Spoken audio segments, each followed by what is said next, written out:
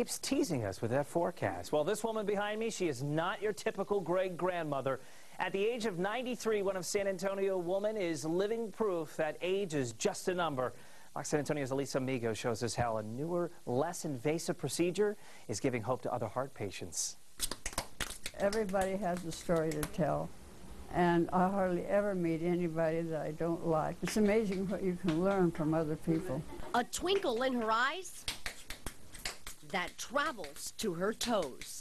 You don't move like you're 18, but you think 18. I mean, that's my big problem.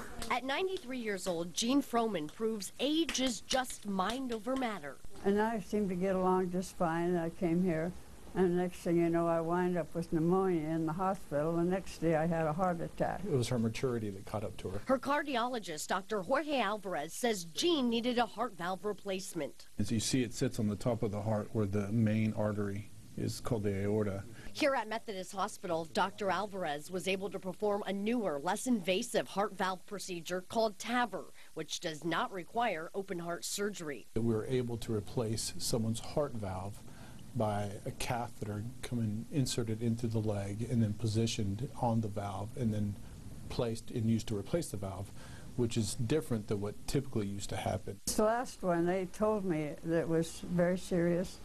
And apparently I was one of the oldest ones they had done it on. Because of the TAVR procedure, Dr. Alvarez is now taking part in national research protocols. The valve is the thing on the inside. Absolutely. Changing the face of medicine. Up until about a month ago, it really just was for uh, patients that were considered high risk by their physicians.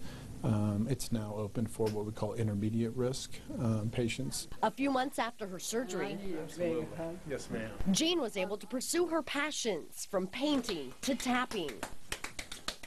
Proof that living a healthy life means you're never too old to dance in the rain.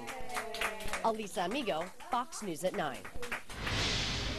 Fantastic work by the doctors and the tap dancing. All right, so to come.